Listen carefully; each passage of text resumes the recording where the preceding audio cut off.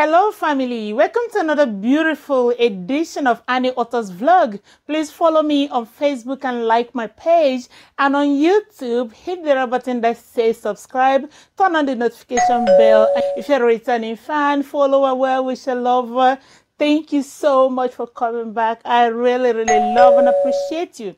In today's edition, we are going to be discussing something that is very very important and it's meant for adults. Eh? So we are going to be discussing about ginger, the benefits of ginger in remedying erectile dysfunction. How can intake of ginger help you to minimize erectile dysfunction. So in other words, we need to know what is erectile dysfunction. So it is the inability to achieve, sustain and maintain penile erection sufficient enough for sexual satisfaction or sexual performance, okay?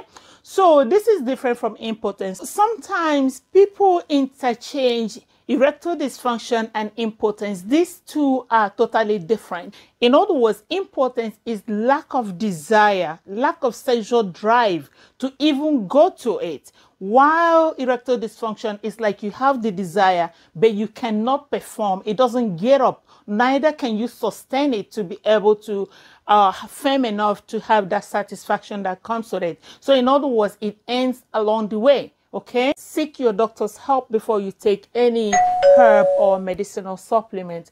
All these things are considered medicine. So seek the advice of your primary care provider before you embark on this. Again this is remedy.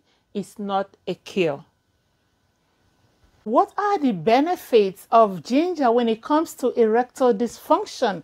So I went to the store the other day and I bought myself some ginger. I always have ginger in my refrigerator because I just like the taste in stew, yam porridge, jollof rice. So ginger is a very good exotic herb and it tastes so nice as well. But again, be careful how you eat it because um, it is it can be spicy hot and it can also affect your GI, that's your gastrointestinal organs. So we are being uh, encouraged to eat at least three to four grams of ginger on daily basis. So guys so do not eat more than this. If you're pregnant eat lesser than this okay? Because it's not good for your intestine if you eat a whole lot. Uh, and again some people chew it raw. I don't encourage that because it's spicy hot okay? So how does eating ginger improve erectile dysfunction? Ginger as a herb improved testosterone. So we're going to be breaking this words to a layman's understanding. So testosterone is a hormone that uh, that is responsible for sex drive and production of sperm in men okay of course so this hormone is traditionally seen uh, very to be very low in people who have erectile dysfunction. So eating ginger will boost the level and that will increase your drive of uh, sexual desire. Okay, so ginger has been seen traditionally uh, used as aphrodisiac. So people don't know well aphrodisiacs are food or herbs or things that increases sexual drive that makes people want to go do okay? So it's been seen to be used to treat erectile dysfunction. So it increases blood flow to the penis and reduces body weight. So according to University of Jordan Science and Technology, the study that they shows that the level of luteinizing hormone, this hormone causes testicles to produce more testosterone. So it's been seen that eating ginger as a dietary supplement will increase the production of luteinizing hormone, which in turn increases the production of testosterone, which is the primary sex drive in men. So in other words, when ginger is eaten at a recommended level on daily basis, it will increase the luteinizing hormone, which in turn stimulates the production of testosterone, which is the sex drive hormone. So again, it will increase it. If you have a low one, it will increase it to normal level or even a little higher. So testosterone production or normal level increases the erectile uh, functioning a man has. My second point here is that ginger normalizes the blood glucose. So according to studies that have been done, men that have type 2 diabetes have been shown to be at a greatest risk of testosterone deficiency. Ginger has been proven to fight against type 2 diabetes by allowing glucose to be absorbed into the muscle cells without using insulin. So whenever your blood sugar or blood glucose is being addressed, that means you, you the, the, the testosterone level stabilizes and increases. In other words, it will increase in return the blood flow to the penile areas, which will increase the level of erection one gets and how the person sustains it because it's reduced to normal. And again, this will increase the erectile functioning and sustenance during intimacy in people with type 2 diabetes. Number three point is that ginger increases blood flow in the testicles. So ginger contains a great level of minerals such as magnesium, chromium, and zinc. So these minerals help to promote blood circulation in the system, especially in the penile area. So, you know, when there is enough blood flow into the sexual organ of a man, that's when erection takes place and this is can this can help it to sustain and maintain erection during sexual intimacy between spouses okay? So in other words ginger increases blood flow into the testicles in upon into the penis causing it to erect my number four, ginger increases nitric oxide. So this is a molecule that is responsible for the dilation of that. Mm-hmm, okay. So nitric oxide is a vasodilator which helps to dilate the blood vessels and improve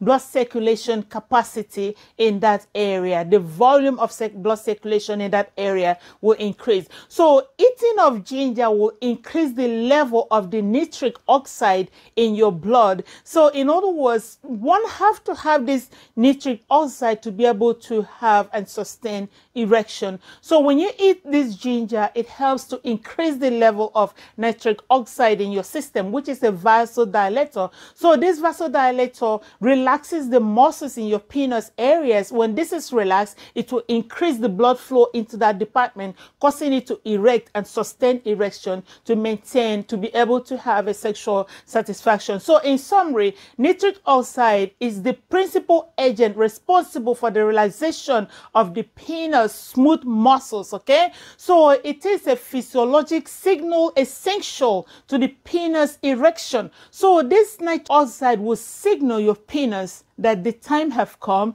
it's time for it to relax and let the blood flow into it and also make it to stand okay Yes. Number five, which is the summary of everything. Ginger injection at the right amount, three to four grams per day, increases the man's sexual drive. Okay. So, in other words, because we have also, we have already discussed that ginger injection increases the level of testosterone. So, when your level of testosterone is at the high level, normal level, okay, it will increase the sexual drive. In other words, so the production of testosterone will increase when you eat a normal level of ginger on daily basis. So when this testosterone is at the right level, it will increase your sex drive. So some people don't sleep well, which might contribute to erectile dysfunction. So injection of ginger will also increase how you sleep, how well you relax when you sleep. And it will also reduce the level of constant irritability. I Ahon takashi all the time. It will help you to relax all these anxiety issues. Ginger will help you to calm down. So in other words, when you calm down, the other aspect of action will take place, will increase, and you'll be happy at the end of the day. So in other words, when low level of testosterone is addressed, you will sleep better, your sexual drive will increase, your irritability will also decrease. It will relax you better. So since time immemorial, ginger has been used as an aphrodisiac. So in other words, people have been eating ginger without knowing this other aspect of, of benefit of ginger. So it has helped to enhance blood flow to the penis and also improve sexual experiences of couples. Okay. So I hope you have learned one or two things through these things. Again, if you have major erectile dysfunction, go and see your doctor, and they will also assist you in so many other uh, areas that you might need medically. But what I have discussed here is more like home remedy. So this will help you, but it's not going to cure the problem you have. It might minimize your problem, but again, let's do this and see how it comes out. Some people might have a better result, a good result, but again, it depends on what is causing your erectile dysfunction. Okay. So thank you so much for watching another beautiful edition of Annie Ottah's vlog. Please help me to share, like, and comment on this video. Thank you everyone that have been commenting. I know some people have been reading and passing on and all the stuff. Please, thank you so much for commenting or inboxing me or reaching out in one way or the other. So thank you so much for watching another beautiful edition of Annie Ottah's vlog. I love you guys. Please stay safe. Bye. Bye, guys.